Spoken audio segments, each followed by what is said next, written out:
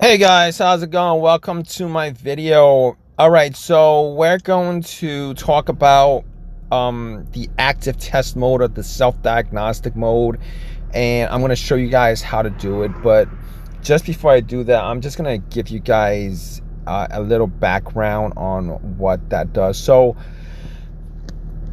so um, it actually I've done some research on this, so apparently it, it's fixed some problems. So if you guys have issues with maybe some kind of stuttering when you st stuttering, like like the engine stutters a bit when you turn your ignition on, it might help to clear that. Um, uh, also, it might uh, if you guys have a a key fob, you guys change the key fob on the battery and for whatever reason your car stopped reading the key fob. You could do that. I've heard that it's fixed that problem. Um, and essentially what it does is it actually goes through various components of your car and does test and you can actually see or hear the test feel the test just to see where each whether each one of those components actually work so uh, it it it uh, does a test on the high low beams. It does the test on the uh, the blower fan, low and high. Uh, it does the wiper low and high test, and it pretty much does the test on all the lights, the lights in your dash, the lights in your car, the dome lights, the the uh, headlights, the rear lights. It essentially uh, gives you pretty much a um, a, a report on on those uh, the, the the portion those portions of your car uh, as far as you know whether they're uh, good or not. But um, I've also heard that if you have some weird uh, weird issues with your vehicle, or if you guys and I am repeating myself with this, but I'm, I was surprised to see that some people have reported that their fob key stopped working and then uh, they bought a new battery to replace it and uh, it didn't actually fix the fob key issue but apparently doing that diagnostic test actually had the car recognize the fob key again, um, which is uh, very, very surprising to me. Um, I don't believe it actually gives you certain codes.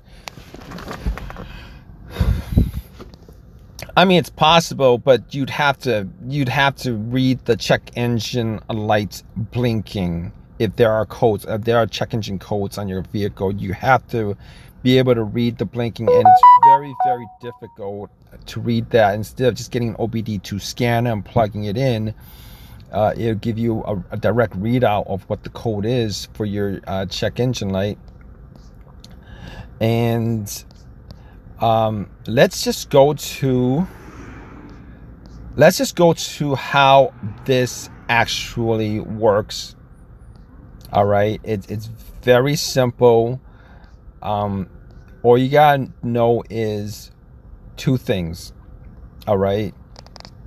The uh, start button, the push button, and the uh, the button that's on the driver's side door that tells the car that the door is closed. All right, those are the two buttons that you need to know.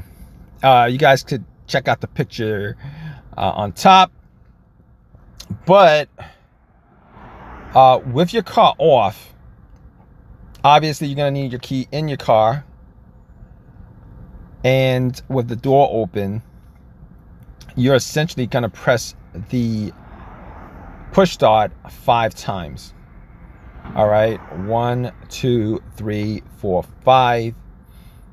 After doing that, you're gonna go and push the uh, the door button ten times one, two, three, four, five, six, seven, eight, nine, ten. And then after that, you're gonna push the button, your your your push start button three times. One, two, three. And right after that, what happens is uh, your lights are gonna go on and off. You're gonna hear, um, I think, a couple of honks. You're gonna hear the blower motor going full blast on the low setting, full blast. Um, and uh, if you guys have other issues with your car that you might want to try to use this method to try to reset that so that maybe it clears up any kind of electrical glitches or whatever. Um, if you guys have fob key issues, you guys know that it's the fob key that's having the issue, you might be able to try this and uh, get this to work.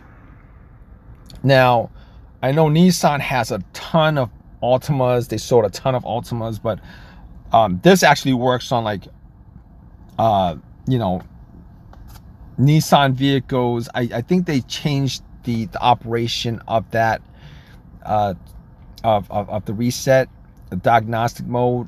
But on like older cars, like 2000, relatively older cars, 2012 and older, 2013, 2014, whatever. Um, just try that. It, it, it, it, it works for multiple Nissan vehicles, multi-year vehicles. It's just part, part of the um, Nissan programming uh, system.